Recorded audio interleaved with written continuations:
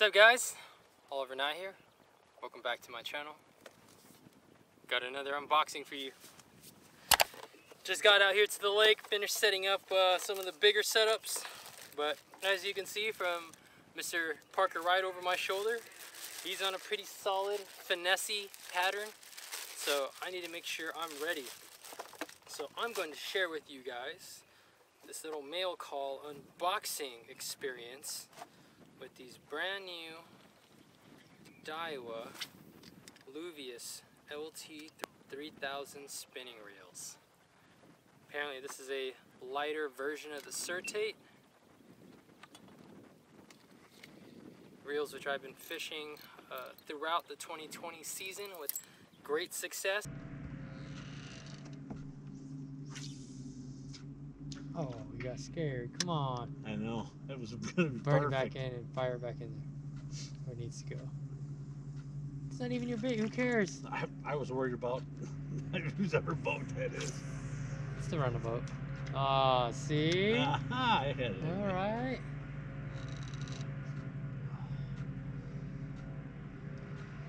Oh, wine. Wine, wine, wine, wine, wine, wine, wine, wine, wine. Oh, One. Down, down, down. Nice and easy, bud. Okay, 90 degrees. Okay, there you go. Stay calm. Stay nice and calm. Down. Oh, my man. There you go. Okay, don't mind if it's pulling. Okay, get up around your rod.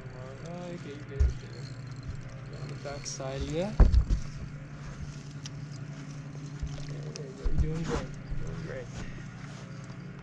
You're doing beautiful.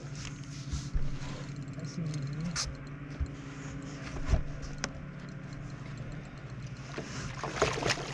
Yes! is it in there? Yeah! My man! Thanks. Yes! Woo! Yeah, hell yeah. Be honest, were you starting to lose faith a little bit? No, I knew it was gonna happen. Oh man. I'm like, ooh, pluck, pluck, right at that. Hit the hit, hit the dock, hit the dock. You say. I love it, bro. so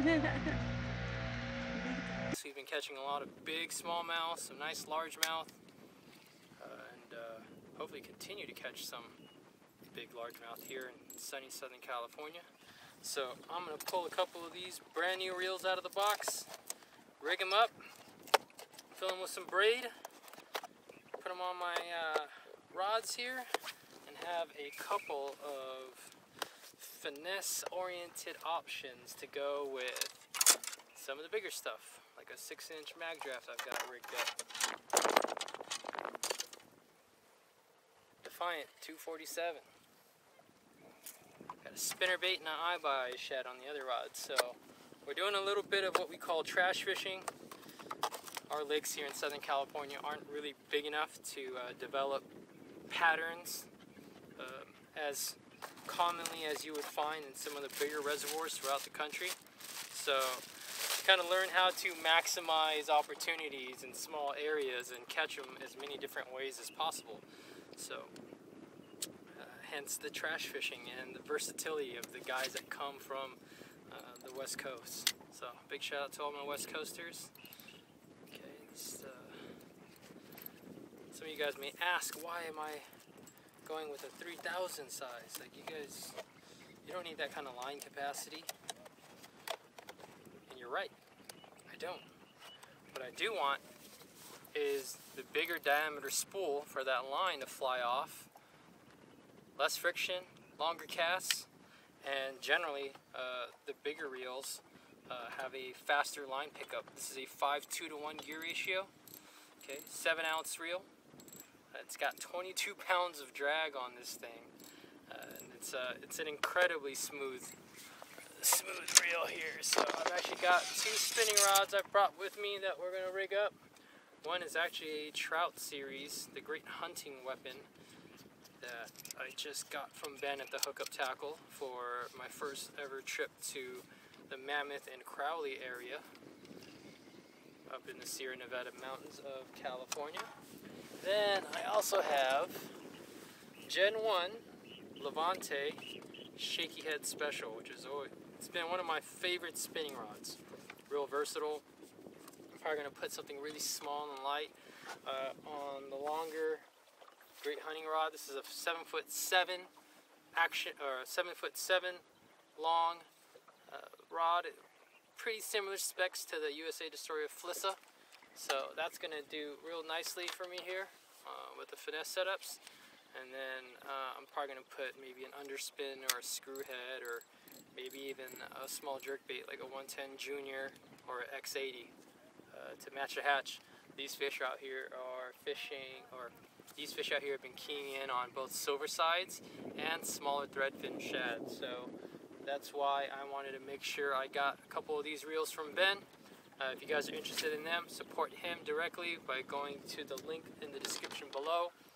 He continues to support us, which allows us to continue to do this for you guys.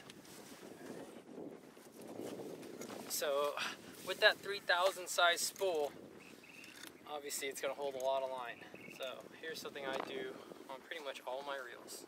I don't normally put on more than 100 to 150 yards of fresh line. So I'm just going to put on some backing and what I have here is just a big spool of bulk monofilament that I use for some of my big bait applications. And all that's going to do is just eat up some space. Okay. Tie a San Diego knot. Draw that down. And I'm going to fill this thing approximately, oh, approximately three quarters full. Always going to put some tension on this thing. And with 22 pounds of drag, you can really lock that down and wind this line on under pressure get it on there as tight as you can. Okay, then when I do need to swap line, uh, I'm not wasting an entire spool's worth of line. Keeps me a little bit more frugal, more efficient with my money, lets me buy more tackle from Ben. So this is actually like 35 pound monofilament. So this is nice because it's actually gonna eat up that, that deep spool pretty quickly. And now that's kind of brought to, uh, it's brought it to a level where you consider, consider it a shallow style spool. Okay, trim that off. Splice to it some 19 pound, 20 pound braid. Testing out some new lines here. Are going to be seeing me use more of this stuff in 2021 and forward. But I'm just going to join it via an Alberto knot. We'll do another breakdown video of how we tie this thing. I'm a six wrap up, six wrap down Alberto guy. Okay, it's always key to go back through the way you came. Lubricate your knot draw down on all four tag ends evenly until it's about three quarters of the way tight and then drop the tag ends and draw it 100% tight. That's going to cinch down nicely. Okay. Now the key with these Alberto knots for me and keeping them from unraveling is taking the tag end of the braid and tying an overhand knot or what the fancy guys call a half hitch twice. Just like that. That'll keep that from unraveling. Get yourself a good pair of cutters. Trim off the excess. Trim off the excess. Now why would you need 22 pounds of drag? Well, the greatest benefit of having that much drag capability is the fine tuning you can have on that range. Now I didn't get these reels in time for my mammoth trip and we're fishing rainbows, cutthroat, and bigger browns on fairly light tackle. Uh, there was a point where we had to drop down to five pound leader to get bit and we fished the $29.99 price range Daiwa Crossfires because that's all I can get my hands on the day before our trip. And they, for 30 bucks, man, it's pretty incredible what those reels are.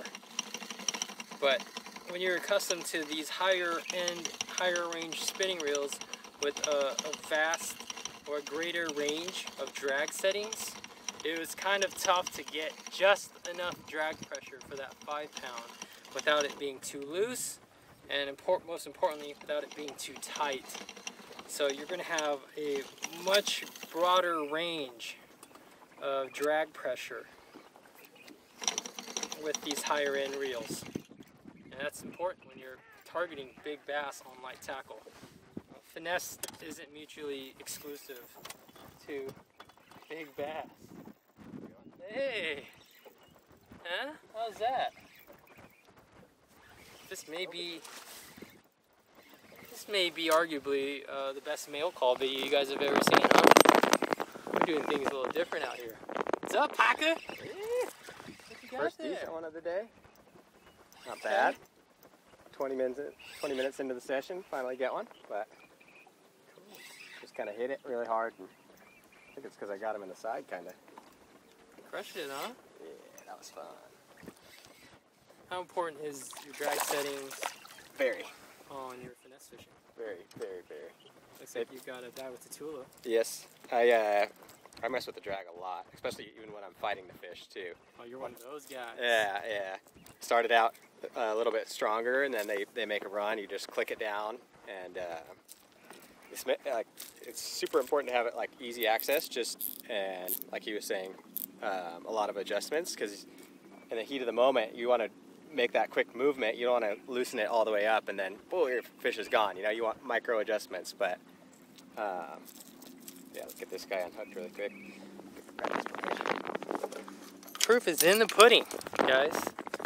Right, and, and those higher end reels are gonna allow us to uh, be in full control. Of course, when you know you got a nice keeper like that on, but most importantly, when you got potentially the biggest bass you've ever seen on a wimpy spinning rod and a little spinning reel. Okay, so even though we're fishing finesse techniques, doesn't mean we're targeting small fish. This is Southern California, man. Those fish will get keyed in on little baits, and unless you're matching profile, matching the hatch, uh, you might not stand a chance at getting a hook into the mouth of one of these big, educated, conditioned fish. Alright, so I'm going to repeat the process on that other Luvius. I'm sold on these bad boys here probably gonna let Parker play with one today. Yeah. See what he thinks of the reel, but uh, it's already proven itself to me. So it's given me the confidence to continue to outfit my arsenal with more of them. And they're a solid investment. I believe they're $389.99. Okay, so you're getting pretty much all the features of the highest tiers of spinning reels in the fishing game um, at a fairly reasonable price. And some of you guys be, be looking at this video and looking at me like, what's this guy talking about? Because a younger version of me would have been like, bro, you're crazy. I wouldn't spend $389.99 on a spinning reel. Well, things change, man. Aim high, dream big. Work harder, work smarter. Leverage your way into the best gear you guys can. All right, so big shout out to Ben. Thank you, Ben, for getting this to me uh, in a timely fashion. In the meantime, if you guys want to see more fish catches from this man right here, subscribe to his channel, follow him on the gram. Uh, we'll leave that information in, in, the description below. Subscribe to my personal channel here. And uh, as always, subscribe to the Big Bass Dreams channel. We're going to show you guys uh, some of the actual fishing from this day on the Big Bass Dreams channel. So make sure you guys are tuned in and got all your notifications turned on. I'm Oliver Ngy. Thanks for watching. We're out a keyboard pirate, my man, that's hella My track is? Instrument, you catch fish, get him in the net quick, cast for another stick. That real deal, raw uncut, still chasing PBs, cause it's never enough. My track is? Instrument, you catch fish, get him in the net quick, cash for